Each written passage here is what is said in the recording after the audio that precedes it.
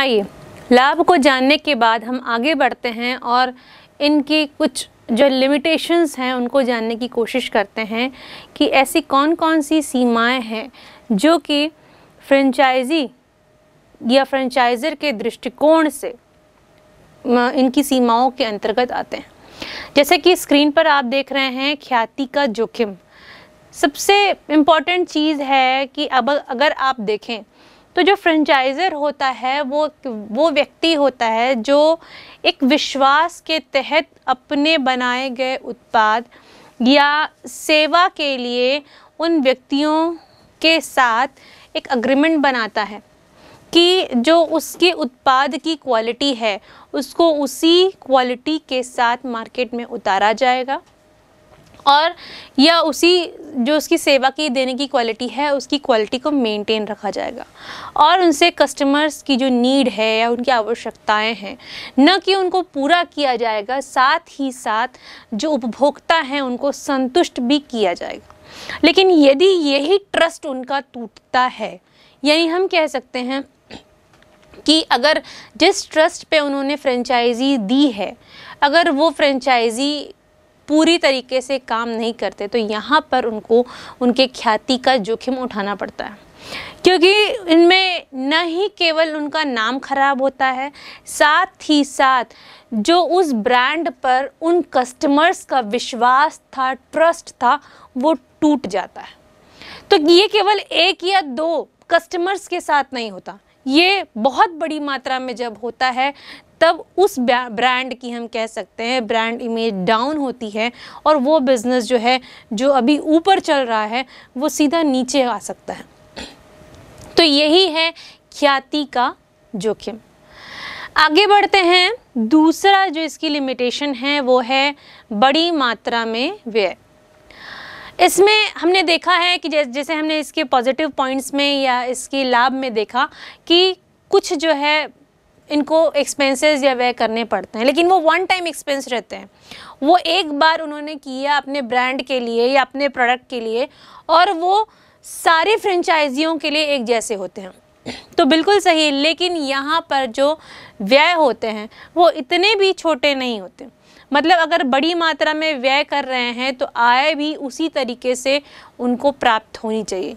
तो इट पूरा का पूरा जो कह सकते हैं डिपेंड करता है कि उनका जो बिज़नेस है या उनका व्यवसाय है, उनको जिन्होंने फ्रेंचाइजी दी हुई है, क्या वो तरीके से उस कार्य को कर रहे हैं या नहीं कर रहे हैं?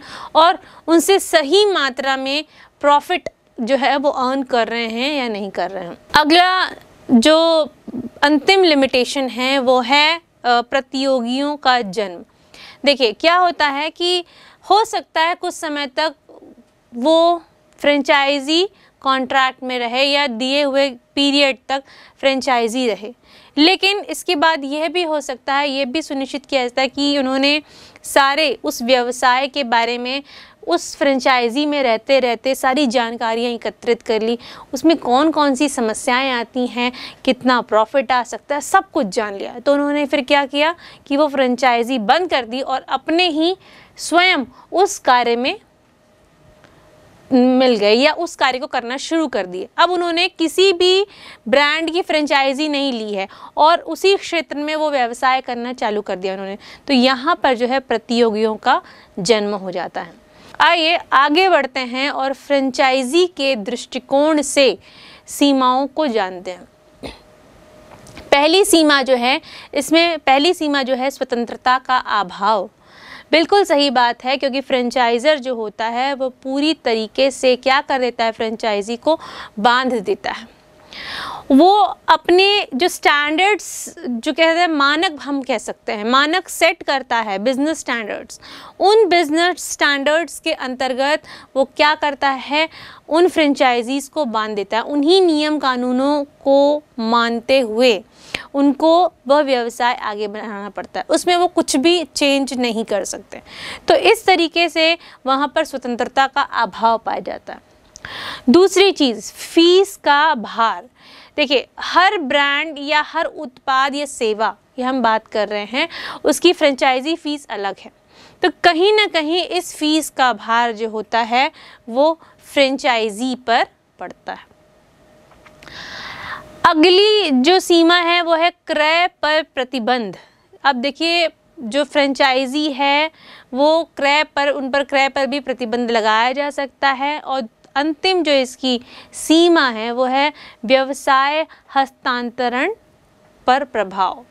मतलब अगर कोई फ्रेंचाइजी, फ्रेंचाइज़र के साथ किसी एग्रीमेंट में है कॉन्ट्रैक्ट में है तो इस स्थिति में क्या होगा? वह अपने जो व्यवसाय के जितने भी वो उचित कह सकते हैं वैल्यूज़ को हस्तांतरित करना चाहे या अपनी जगह वो फ्रेंचाइजी किसी और को बनाना चाहे, इस प्रकार का हस्तांतरण वह नहीं कर सकता। तो इस तरीके से हमने देखा कि फ्रेंचाइजी के दृष्टिकोण से क्या क्या सीमाएँ उत्पन्न होती हैं। आगे बढ़ते हैं और फ्रेंचाइजिंग को जान लिया हमने। अब हम देखते हैं कि लाइसेंसिंग क्या है। लाइसेंसिंग में बच्चों, देखिए, दो देश होते हैं। एक देश, जिसमें कि लाइसेंस देने वाला होता है, जिसे हम लाइसेंसर कहते हैं, और दूसरा देश, जिसमें लाइसेंस लेने वाला होता है, जिसे हम लाइसेंसी कहते हैं। ठीक है? इसमें ये क्या करते हैं? ये अपने नाम पेटेंट ट्रेडमार्क तकनीक कॉपीराइट विपणन आदि का प्रयोग उस द्वारा उत्पादित, उत्पादों के लिए करने का लाइसेंस प्रदान करते हैं। इनमें ये जो जो एक फ़ीस लेते हैं, हम कह सकते हैं, किन से लाइसेंसी से कि हमने आपको क्योंकि लाइसेंस दिया है तो आपको इसके एवज में हमें पारिश्रमिक क्या देनी पड़ेगी? एक फ़ीस डिसाइडेड होती है, वो उनको देनी पड़ती है। इसमें जब कुछ विकासशील देशों में यह बिक्री के पाँच प्रतिशत से अधिक नहीं हो सकते। और दूसरी चीज़, अंतर्राष्ट्रीय व्यवसाय में इस तरीके का जो प्रयोग है, वो प्रायः कुछ बिंदुओं में किया जाता है या कुछ स्थितियों में किया जाता है, हम कह सकते हैं। जो कुछ स्थितियाँ हैं, वो कुछ इस प्रकार है, जैसे कि आप स्क्रीन पर देख रहे हैं। पहली स्थिति है जब आयतक देश की सरकार के आयतों पर प्रतिबंध लगाया जाए। दूसरी स्थिति है जब विदेश के पूंजी विनियोग न करना हो। तीसरी स्थिति है जब विदेशी बाज़ार की अधिक जानकारी ना हो। चौथी स्थिति है जब देश की सरकार विदेशी स्वामित्व से बचना चाहती हो। और पांचवी और अंतिम स्थिति है जब कंपनी के नाम की विदेशी बाज़ारों में पूरी पहचान हो।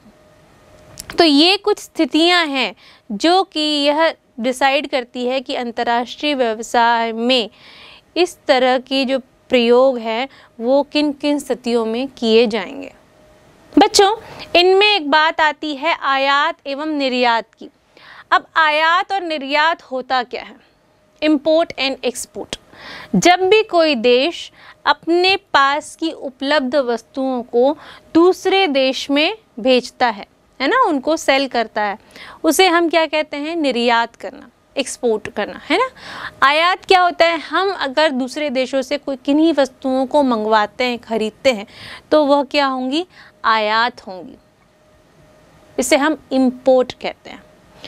अब आयात और निर्यात को जानने के बाद हम देखते हैं कि आयात एवं निर्यात से होने वाले लाभ क्या क्या हैं। जो अंतर्राष्ट्रीय बाज़ार में प्रवेश करने का सबसे अधिक आसान तरीका यही है। दूसरी चीज़, अन्य देशों में संयंत्र एवं मशीनरी की स्थापना करने की इसमें आवश्यकता नहीं होती। तीसरी चीज़, आयात एवं निर्यात में अंतर्राष्ट्रीय व्यवसाय में प्रवेश के अन्य तरीकों से भी जोखिम होता है। और चौथी चीज़, अन्य विधियों की तुलना में इस विधि में लेन देन पूर्ण करने में कम समय लगता है। सिंपल सिंपल बातें हैं, अगर आप गौर करें तो आयात और निर्यात में का जो ये तरीका है, या इंटरनेशनल बिज़नेस के कॉन्सेप्ट में बिज़नेस में अंदर आने का तरीका है। बहुत ही सिंपल है, हम कह सकते हैं। क्योंकि इसमें आपको निर्माण कार्य में जो है, किसी भी प्रकार का इन्वेस्टमेंट प्लान करने की ज़रूरत नहीं है। दूसरी चीज़, यहाँ पर बहुत बड़े इन्वेस्टमेंट की ज़रूरत नहीं, जैसे कि आपको प्लांट लगाने की ज़रूरत नहीं, मशीनें लगाने की ज़रूरत नहीं। और तीसरी चीज़, अन्य विधियों की तुलना में इस विधि में जो लेन देन होता है, बहुत ही ईजी रूप में हो जाता है। तो कुछ ये कारण हैं जो कि हम, जिन्हें हम आयात और निर्यात के लाभों के अंतर्गत इनको ले सकते हैं। आयात और निर्यात के अंतर्गत अगर हम कुछ हानियों को देखें या लिमिटेशंस को देखें तो वो कुछ इस प्रकार से भी हो सकती हैं कि जो आयात और निर्यात में जो पैकेजिंग और बीमा पर जो खर्च होता है, वो अधिक होता है। तो ये जो है, अगर हम आयात करवा रहे हैं तो आयात करने वाली जो कंपनी है, उस पर ये लोड पड़ेगा, है ना? और अगर हम कस्टम ड्यूटी की बात करें तो यहाँ पर जो कस्टम ड्यूटी होती है, उसकी जो प्रक्रिया होती है, वो थोड़ी ज़्यादा कॉम्प्लेक्स होती है, जटिल होती है, जिससे कि बहुत समय लगता है उन वस्तुओं को एक देश से दूसरे देश तक पहुँचने में।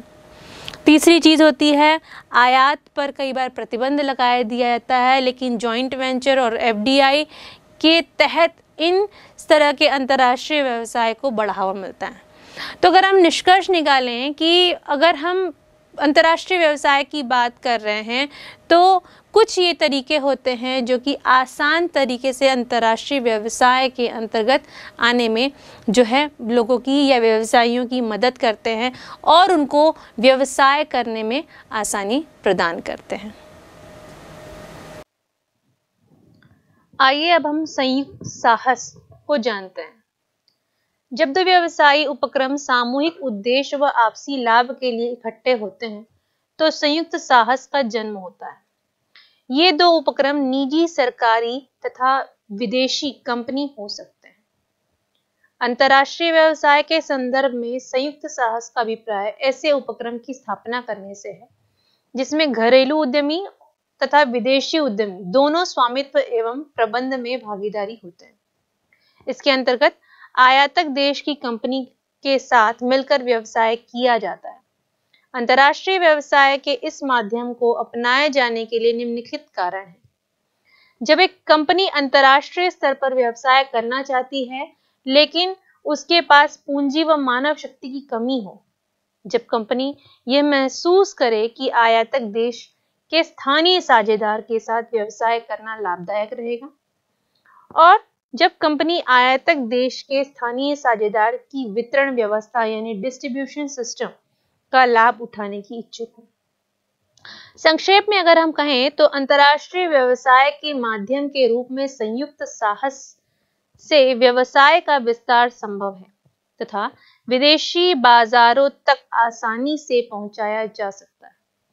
दूसरी ओर, इससे दूरस्थ स्थान पर स्थित होने के कारण उत्पादन व विपणन क्रियाओं में स्वतंत्रता व पर्याप्त नियंत्रण प्राप्त न होने से हानि भी हो सकती है। संयुक्त उपक्रम निम्न के लिए बनाए जा सकते हैं। आइए हम देखते हैं कि जो संयुक्त उपक्रम है, वो किन किन के लिए बनाए जाते हैं। पहला है विदेशों में नए उपक्रम स्थापित करने के लिए। दूसरा, किसी पहले से स्थापित कंपनी में विनियोग करने के लिए। तीसरा, किसी विदेशी कंपनी में अपना हित स्थापित करने के लिए और अंतर्राष्ट्रीय समझौते करने, अंतर्राष्ट्रीय व्यापार में अपनी हिस्सेदारी निश्चित करने के लिए। संयुक्त उपक्रम समझौते अपने देश में किन के लिए बनाए जा सकते हैं? स्थानीय अधिकारियों को प्रभावित करने एवं विशेषाधिकार का प्रयोग करने के लिए, उत्पादन के विभिन्न साधनों का प्रयोग करने के लिए, जोखिम को कम करने के लिए एवं विदेशी पूंजी को अपने देश में लगाकर कर का लाभ उठाने के लिए। अब हम देखते हैं कि संयुक्त उपक्रम विदेश में किन के लिए बनाए जा सकते हैं। तो विदेशी उत्पादन एवं सेवा सुविधाओं में बढ़ोतरी करने के लिए आवश्यक कच्चे माल की पूर्ति में वृद्धि के लिए और देश के आर्थिक विकास में वृद्धि के लिए, साथ ही साथ विदेशों में अपना माल बेचने के लिए। अब हम देखते हैं कि संयुक्त उपक्रम के लाभ क्या हैं।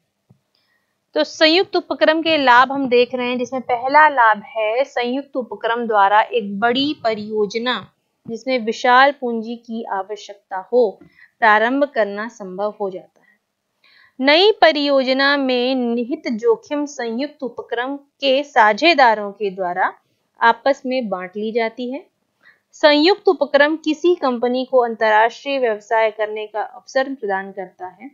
संयुक्त उपक्रम में स्थानीय सहसाजी को फ़ायदा हो जाता है क्योंकि विदेशी सहसाजी नई परियोजनाओं में विदेशी पूंजी एवं प्रौद्योगिकी का योगदान करता है।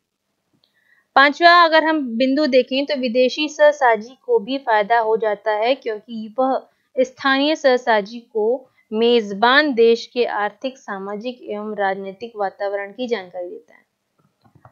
और अंतिम लाभ अगर हम देखें तो एक बहुराष्ट्रीय कंपनी के साथ संयुक्त उपक्रम समझौता करने में छोटी फर्म की प्रतियोगी शक्ति बढ़ जाती है। अब हमने जॉइंट वेंचर यानी संयुक्त साहस को जान लिया है।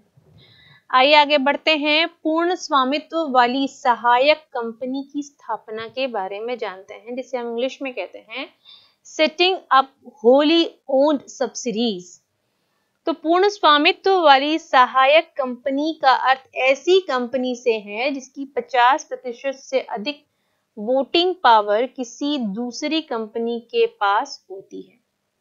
जो कंपनियाँ विदेशी बाज़ार में दीर्घकाल तक अपनी उपस्थिति दर्ज कराना चाहती हैं, वे विदेशों में पूर्ण स्वामित्व वाली सहायक कंपनियों की स्थापना करती हैं। इस माध्यम के अंतर्गत विदेश में ही उत्पादन एवं विपणन क्रियाएँ संचालित की जाती हैं। उत्पादन एवं अन्य लागतें तथा सरकारी नीतियाँ अंतर्राष्ट्रीय व्यवसाय के इस प्रारूप को प्रोत्साहित करती हैं। इस प्रारूप के मुख्य लाभ निम्नलिखित हैं। जो हम आपके स्क्रीन पर देख रहे हैं पहला है उत्पादन एवं क्वालिटी पर पूर्ण नियंत्रण रहता है। दूसरा, संभावित प्रतियोगियों के विकास का जोखिम नहीं है। अगर हम इनकी कुछ सीमाएँ देखें तो वो कुछ इस प्रकार हैं। कुशल श्रमिकों की कमी, अधिक वित्तीय एवं प्रबंधकीय स्रोतों की आवश्यकता, विदेशी बाज़ार की अधिक जानकारी न होना और विदेशी सरकार का सहयोग प्राप्त न होना। तो संक्षेप में कहा जा सकता है कि कंपनियाँ वित्तीय व प्रबंधकीय दृष्टि से सुदृढ़ हैं और लंबे समय तक विदेशी बाज़ार में रहना चाहती हैं। उनके लिए अंतर्राष्ट्रीय व्यवसाय का यह माध्यम एक अच्छा विकल्प है। विश्व व्यापार संगठन का अर्थ एवं स्थापना देखते हैं तो विश्व व्यापार संगठन डब्ल्यू वर्ल्ड ट्रेड ऑर्गेनाइजेशन जो डब्ल्यूटीओ है, वो गैट का स्थान लेने वाले विश्व मान्यता प्राप्त एक व्यापार संगठन है, जो अंतर्राष्ट्रीय व्यापार को प्रोत्साहित करने के लिए नई दृष्टि व अधिक शक्तियाँ लिए हुए हैं। एक जनवरी सन उन्नीस सौ पंचानवे को 124 देश विश्व व्यापार संगठन के सदस्य थे और मई 2009 में यह संख्या बढ़कर एक सौ तिरपन हो गई।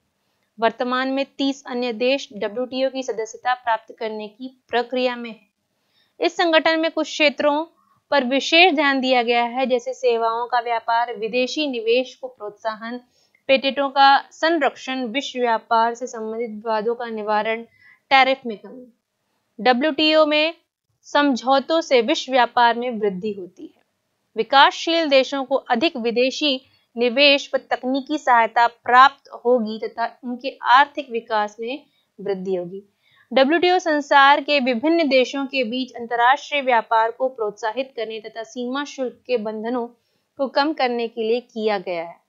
आवश्यक सिद्धांतों तथा नियमों से संबंधित बहुपक्षीय समझौता है। यह एक बहुपक्षीय संधि है, जो अंतर्राष्ट्रीय व्यापार को प्रोत्साहित एवं इसके नियमों का निर्धारण करता है। आइए देखते हैं विश्व व्यापार संगठन की विशेषताएँ। जैसे कि आप स्क्रीन पर देख रहे हैं ये कुछ विशेषताएँ आपको स्क्रीन पर दिखाई जा रही हैं। पहली है, यह एक अंतर्राष्ट्रीय संगठन है, जो बहुपक्षीय व्यापार को बढ़ावा देने के लिए कार्य करता है। दूसरा, इसे गैट के स्थान पर बनाया गया है। तीसरा, यह स्वतंत्र अंतर्राष्ट्रीय व्यापार को बढ़ावा देता है। यह टैरिफ व गैर टैरिफ जैसी बाधाओं को खत्म करने पर ज़ोर देता है। चौथा, इसका वैधानिक अस्तित्व है। इसमें कुछ नियम व प्रावधान होते हैं। इन नियमों व प्रावधानों के द्वारा यह सदस्य देशों के मध्य अंतर्राष्ट्रीय व्यापार की बाधाओं को कम करता है। ये नियम सदस्य देशों द्वारा आपसी सहमति से बनाए जाते हैं। डब्ल्यूटीओ के सदस्य देशों द्वारा किए गए समझौते सभी सदस्य देशों पर लागू होते हैं। यदि कोई सदस्य देश उन समझौतों का पालन नहीं करता तो उसकी शिकायत विवाद निपटारा समिति को की जा सकती है। डब्ल्यूटीओ के अंतर्गत वस्तु व्यापार, सेवा व्यापार, बौद्धिक संपत्ति अधिकारों का संरक्षण, विदेशी निवेश आदि शामिल है। अंतर्राष्ट्रीय मुद्रा कोष और विश्व बैंक की तरह डब्ल्यूटीओ पर केवल विकसित देशों का ही नियंत्रण होता है। डब्ल्यूटीओ विकसित देशों के एजेंट की भांति कार्य नहीं करता और डब्ल्यूटीओ के सभी सदस्य देशों को एक समान वोटिंग अधिकार दिए जाते हैं। इसमें एक देश को एक वोट देने का अधिकार होता है। डब्ल्यू को एक बड़ा सचिवालय है और इसका संगठनात्मक ढांचा बहुत विशाल है। आइए अब हम देखते हैं विश्व व्यापार संगठन के उद्देश्य क्या हैं। तो ऑब्जेक्टिव्स ऑफ़ डब्ल्यू अगर हम देखें तो इसके प्राथमिक उद्देश्य जो हैं, वो नए विश्व व्यापार समझौते को लागू करना है और बहुविपक्षीय, बहुपक्षीय व्यापार को बढ़ावा देना है। अंतर्राष्ट्रीय व्यापार में टैरिफ और गैर टैरिफ रुकावटों को दूर करके स्वतंत्र व्यापार को बढ़ावा देना है। विश्व व्यापार को इस तरह से बढ़ावा देना है कि प्रत्येक सदस्य देश उससे लाभान्वित हो। यह आशक्त करना कि अल्प विकसित देश भी अंतर्राष्ट्रीय व्यापार के विस्तार से लाभान्वित हो। खुली विश्व व्यापार प्रणाली की सभी रुकावटों को दूर करना तथा विश्व व्यापार को आर्थिक विकास के लिए प्रयोग करना। उपभोक्ताओं को लाभान्वित करने के लिए सभी देशों में प्रतिस्पर्धा को बढ़ावा देना, विश्व में रोज़गार के स्तर को बढ़ाने के लिए उत्पादन के स्तर तथा उत्पादकता को बढ़ाना, संसार के संसाधनों का अधिकतम मात्रा में विस्तार करना तथा उनका अनुकूलतम प्रयोग करना, विश्व की जनसंख्या के जीवन स्तर में सुधार लाना और सदस्य राष्ट्रों के आर्थिक विकास की गति को तेज करना, अति गरीब राष्ट्रों के विकास के लिए विशेष प्रयास करना। विश्व व्यापार संगठन के उद्देश्यों को जानने के बाद अंतिम इस चैप्टर का लास्ट टॉपिक हम कवर कर रहे हैं विश्व व्यापार संगठन के कार्य फ़ंक्शंस ऑफ़ डब्ल्यूटीओ अंतर्राष्ट्रीय व्यापार में टैरिफ और गैर टैरिफ रुकावटों को कम करने के लिए नियम बनाना विश्व व्यापार संगठन के समझौतों को पूरा करने के लिए इन्हें लागू करना और अंतर्राष्ट्रीय व्यापार का प्रशासन करना। विश्व व्यापार नीति निर्माण में समन्वय लाने के लिए अंतर्राष्ट्रीय मुद्रा कोष विश्व बैंक को सहयोग देना। विवाद निपटारा समिति की सहायता से सदस्य देशों के अंतर्राष्ट्रीय व्यापार संबंधी झगड़ों को निपटारा करना। सदस्य देशों की आर्थिक नीतियों व व्यापार संबंधी नीतियों का पुनरावलोकन करना और सदस्य देशों को विदेशी व्यापार राजकोषीय नीति के प्रबंध के लिए आवश्यक तकनीकी सलाह और मार्गदर्शन देना। और अंतिम, व्यापार उदारीकरण के लिए कार्य तो बच्चों, इस तरीके से हमने डब्ल्यूटीओ और इस चैप्टर को, अंतरराष्ट्रीय व्यवसाय को समाप्त किया। आशा है आपको ये चैप्टर अच्छी तरीके से समझ में आया होगा। धन्यवाद।